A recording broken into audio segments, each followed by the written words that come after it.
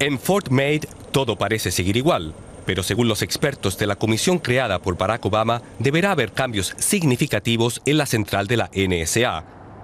Una de sus recomendaciones prevé que el servicio secreto no pueda almacenar en sus servidores toda la información telefónica interceptada en los Estados Unidos, sino que debe delegar esta tarea a empresas privadas. El informe de la comisión también afirma que hay que proteger la privacidad de los ciudadanos extranjeros, la NSA solo podría espiarlos para salvaguardar los intereses de seguridad nacional.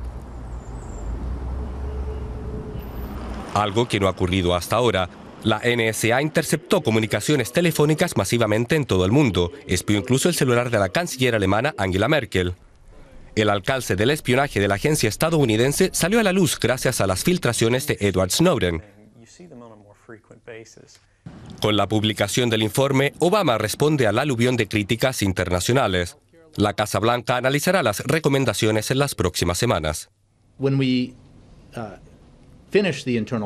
Cuando hayamos terminado, en enero, el presidente comunicará las conclusiones a las que hemos llegado.